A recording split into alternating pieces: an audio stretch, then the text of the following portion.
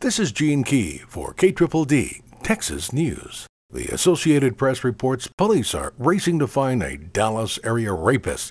Appears to be preying on members of a national black sorority. Have released a written timeline of the attacks and additional details about surveillance video. Police say the video, which was previously released, is of a man who called one of the Plano victims from a convenience store payphone in Mesquite to inquire about her welfare after the April attack.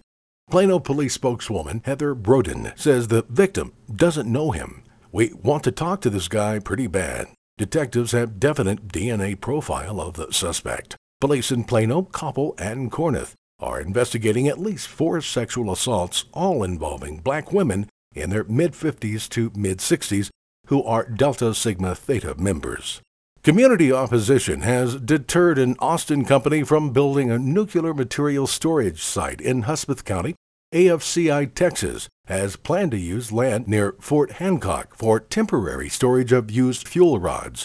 But according to a story in Sunday's edition of the El Paso Times, the company decided not to use the site after county officials told them residents would oppose the project. The company's management partner, Bill Jones, says officials from the State General Land Office suggest the company explore state owned land in Hudspeth County because it's far from heavily populated areas and underground aquifers.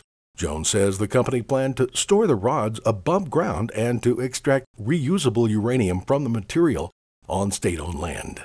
From KHOU.com, a Texas man has been sentenced to 80 years in prison for trying to buy movie theater hot dogs with counterfeit cash. Charles Cleveland Nowden was sentenced Friday, two days after being convicted of forgery. He must serve at least 15 years before he's eligible for parole.